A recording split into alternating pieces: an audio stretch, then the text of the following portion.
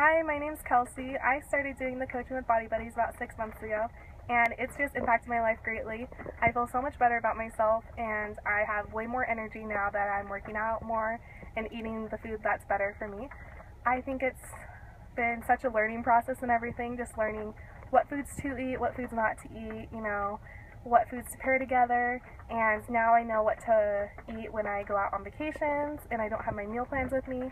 I know how to order when I'm out at the restaurants, and I just want others to realize that, you know, if you believe it, you can do it, then you'll do it. You just have to have the self motivation. That's the biggest key, and once you have it, then others can have, help you have it too.